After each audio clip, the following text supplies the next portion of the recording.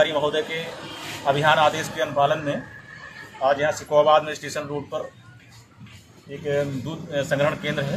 तो यहाँ पर देखा ड्रमों में पाँच छः सौ लीटर दूध रखा हुआ है। उसमें दूध को फटने से बचाने के लिए बर्फ़ डाली गई हुई है। बर्फ़ डालना ही पानी की मिलावट की तरह ही है। देखा जाता है दूध छः सात बजे कड़क निकल आता है भैंस से, गायों से, और ये अब तक रखे हुए हैं। तो इसमें दूध में मिलावट की संभावना है इसकी जाँच रिपोर्ट आने के बाद इनके विरुद्ध कार्रवाई की जाएगी। और इनको बताया जा रहा है कि दूध को किस तरह संग्रहित करना है और कोई गंदगी ना रहे, बर्फ़ ना डले, हाइड्रो ना डले, ताकि दूध शुद्ध बना रहे और समय से चिलर पर पहुँच जाए।